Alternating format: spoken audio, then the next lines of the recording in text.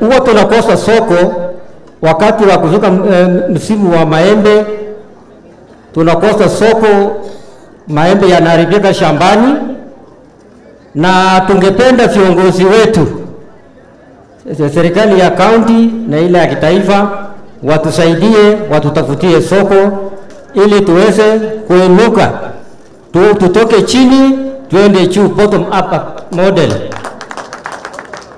Jambo lingine ni mambo ya maji. Katika sehemu yetu tumebarikiwa na mito mengi ambayo yanatoka sehemu ya mwinuko milima ya Cherangani yanateremka huko chini. Kwa hivyo haya mimea yanahitaji maji wakati mwingine, na ili tusidishe eh, kilimo iwe kwa eh, large scale inahitaji maji kupeleka mpaka mashambani. Eh, kwa usaidizi wenu Mr. Gajabeni ukirejea utarejea eh, kushikana na serikali kuu uje kutufanyia mambo ya irrigation tu tusambaze hiyo mpaka mpaka sehemu ambayo haijafika. Um, jambo lingine tena eh, kwa mambo ya maembe tungependa tufanyiwe ile inaitwa improved seedlings.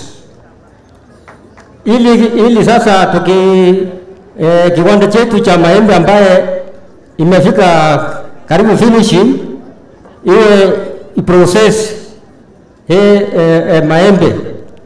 Yale tunayo saa hii ni ile indigenous. Na indigenous vile tunaambiwa na wataalamu eh, haileti ch- nyingi.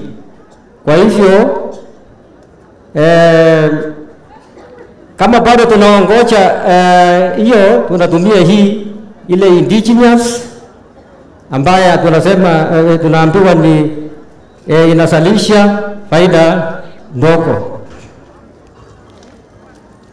Um, Alafu jambo lingine ambayo tunakumbwa kama wakulima wa sehemu hiyo ni mambo ya nafikiri inaenda kwa national government. Bwana Muturi, ukienda huko mkijaliwa mu- muingie Ikulu mtusaidie kabisa, ili tufanye kilimo chetu kwa amani bila furugu zozote ya kutoka na majangili. Eh, tunasumbuliwa sana wakati mwingine hata tuna tunakosa kufanya kazi kwa sababu ya watu wachache ambao ni wakora wanatoka huko pande zote haitoki sehemu moja. Kwa hivyo tunawaombea Mungu kabisa na tutawapea tu- tutawapea kura ya kutosha. Kufika tarehe tisa mtaingia Ikulu.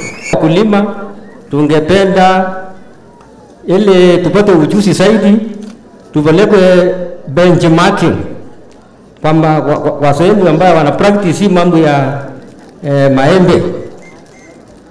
Kwa hivyo sasa hiyo tutafanya tu kama mmeingia ofisi.